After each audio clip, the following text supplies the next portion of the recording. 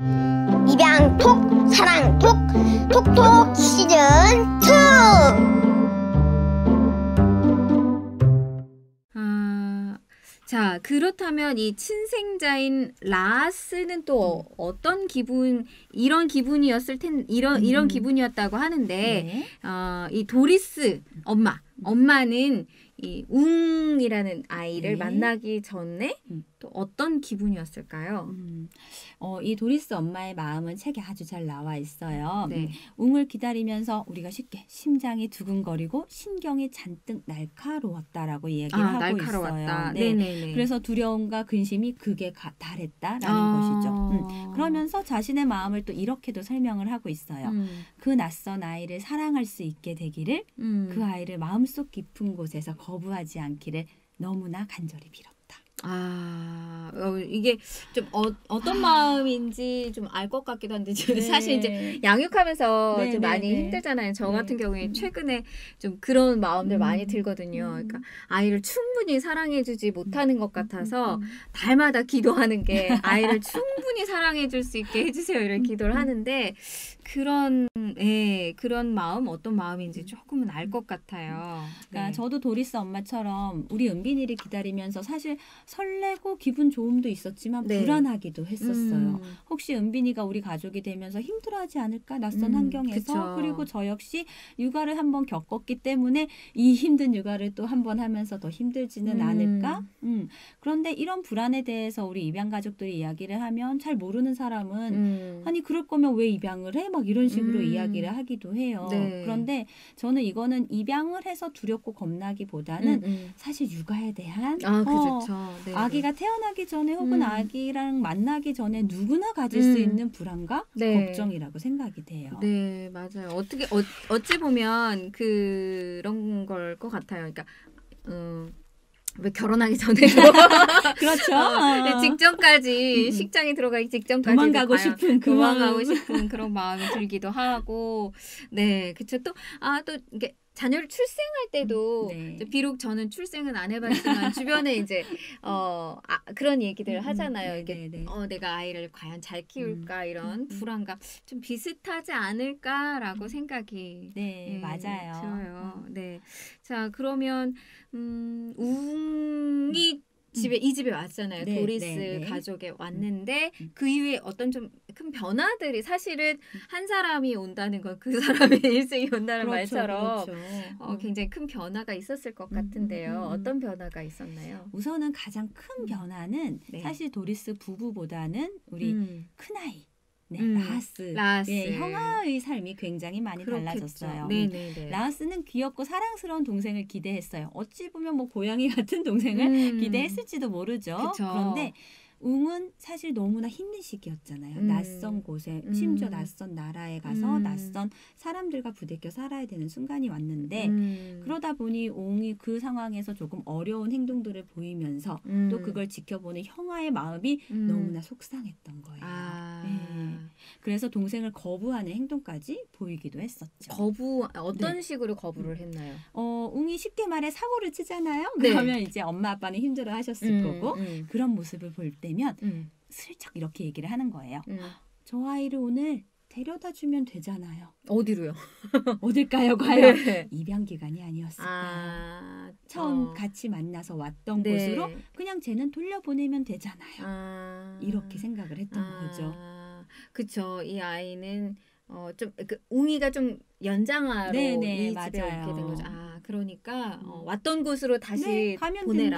된다. 네. 아. 그런데 정말 도리스 부부가 현명한 게 이 네. 상황에서 네. 웅이는 이제 이제 우리 가족이 됐고 어딜 돌려보내고 할 수 음. 있는 존재가 아니라는 걸 음, 음. 아이에게 끊임없이 설명을 해줘요. 음. 그러면서 아이에게도 첫째 아이에게도 우리 부부가 얼마나 너를 사랑하고 있는지 음. 끊임없이 사랑을 또 표현해주는 음. 아주 현명한 행동들을 하시더라고요. 음, 충분히 아이를 사랑해 줌으로 인해서 좀 이렇게 그 불안한 마음들을 음, 음. 이렇게 어 이렇게 누그러 터트릴 수 있도록 네, 네, 어, 네, 도와주었다 네. 음. 그런 말씀이신 거죠. 그런데 네. 이 형아의 기분은 음. 사실 뭐 우리가 입양을 하던 안 하던 어느 집에서나 음, 아이가 음. 두명 세명 있는 집에서는 음. 누구나 나타날 수 있어요. 뭐 첫째가 둘째에 네, 대해서 네. 혹은 뭐 둘째가 첫째에 대해서 네, 네, 그 맞아요. 질투와 정말 혼돈의 카오스죠. 네, 네. 네. 이런 모습들은 어느 가정에서나 음. 일어날 수 있는 모습이라고 생각이 돼요. 음. 음.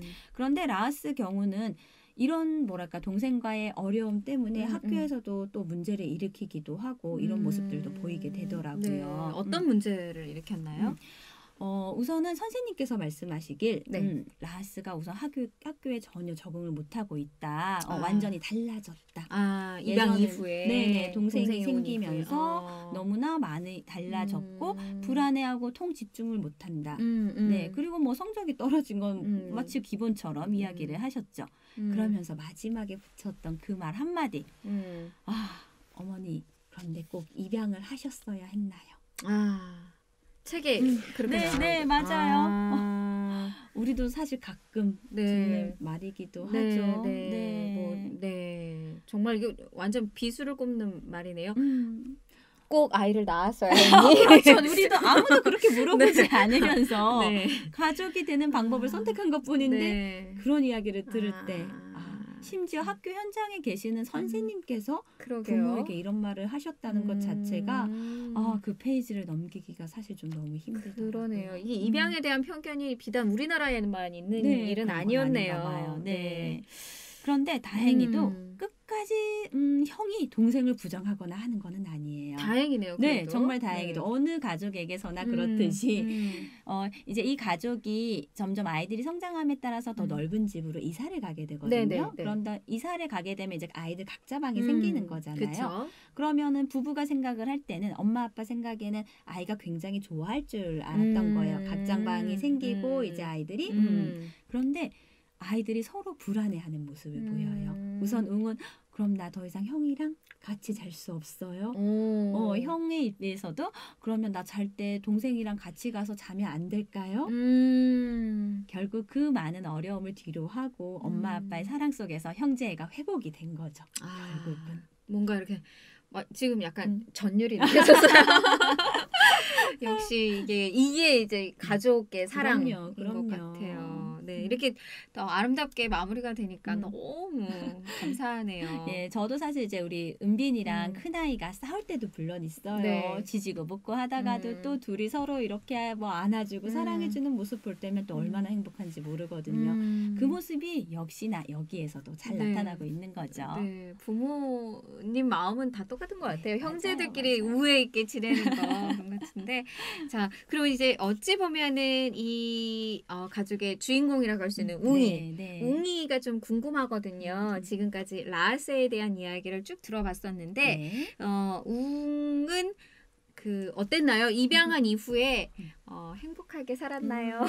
어, 정말 행복하게 잘 살았으면 좋겠는데 네. 우리의 예상대로 네. 그리 그 과정이 쉽지만은 않았어요. 네. 음, 웅의 입장에서 보면 낯선 나라, 낯선 사람들 갑자기 와서 말도 안 통하고 음, 음. 얼마나 힘이 들었겠어요. 그쵸, 예. 네. 그런데 이 아이에게는 특별하게 또 식탐이라는 음, 음, 좀 어려움이 또 좀 하나 있었죠.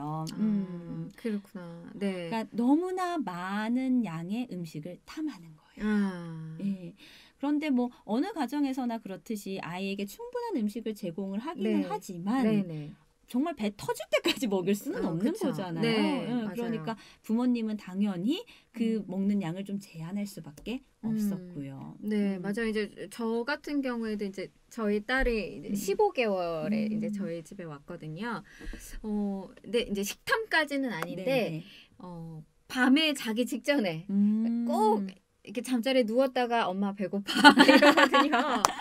어, 그럴 때 이거 줄 수도 없고 네. 아 이게 왠지 또 음. 잠자리에 먹으면 또 위에 안 좋을 것 같고 음, 아이한테 그래서 좀 고, 고민이거든요. 근데 이 네, 네. 도리스 부부는 더군다나 더 많이 음. 고민이 됐을 것 같아요. 무한정 계속 네, 먹으니까 네, 네, 네. 음. 어떻게 대처를 했는지 음. 궁금해요. 우선은 뭐 다른 부부들이 부모들이 하는 음. 것처럼 풍, 충분히 먹을 수 있게 양을 제공을 하지만 아, 네네. 배가 터지면 안 되니까 그쵸. 우리 아이들이 네네. 어쨌거나 제한이 들어갔잖아요. 그쵸. 네. 그러면 이제 그때부터 음. 웅이의 이 슬픔이 드러나기 시작하는 음. 거예요. 어, 음. 여기에서는 고통의 섬 나들이라고 표현을 하는 어. 게 있는데요. 우선 더 이상 먹을 걸 주지 않는다는 신호, 약간의 음. 그 미묘한 시그널을 네네네. 읽으면 아이가 우선 눈을 감고 울었다고 해요. 아. 눈물을 보이고 네. 자기 자신을 때리기도 하고 음. 심지어 음. 심할 때는 일어서서 옷을 홀딱 벗고 아. 소리를 고래고래 지르면서 울었다고. 정말 힘드셨겠어요. 우리가 네. 삼시 세끼를 먹는데 음. 그 세끼마다 매번 그런 일이 일어 난다고 아. 하면 사실 굉장히 힘들겠죠. 네. 어, 그야말로 좀 약간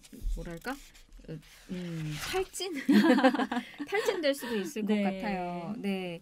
근데 어 은빈이도 궁금하거든요. 은빈이는 저희 은빈이는 이제 평균 몸무게로 태어났는데 우리 네. 은빈이도 식탐이 있었어요. 아. 그래서 돌쯤 됐을 때 돌 아가들 원래 평균이 한 10kg 아, 되거든요. 네네. 근데 저희 딸이 13kg. 아, 상위 0.1%의 아주 초우량아가 네. 되면서 어. 의사가 이제 그만 먹이라고 음. 어, 그렇게 말할 정도 식탐이 있는 아이였거든요. 음, 근데 우리 은빈이랑 좀 일화를 하나 말씀드리면 음. 이제 아이들이 밤에 잘 때 엄마들이 와서 이렇게 이불 덮어주잖아요. 네. 그러면 아이가 설핏 잠을 깨면서 너무 행복한 표정을 짓는 네. 거예요. 그래서 엄, 엄마인 저도 행복해지는. 네. 근데 딱 웃으면서 치킨. 어 정말 나는 얘가 뭐가 이렇게 행복한 건지 음. 궁금했는데 어. 그 치킨이 그렇게 행복했었던 음, 거예요. 또 한 번은 자다가 너무 심하게 우는 거예요. 음. 뭐 애들 뭐 악몽 꿀 때도 있으니까 그쵸. 가서 음. 그래서 엄마 여기 있어 왜 음. 울어 하면서 안아주는데 음. 우리 딸이 더 먹을 거야 더 먹을 거야 속으로 아니 그렇게 아. 먹고 더 먹고 싶어 막 하면서 음. 그래 더 줄게 더 줄게 음. 하면서 재웠던 게 좀 기억이 나요. 음. 구독과 좋아요, 알림 설정 필수. 감사합니다.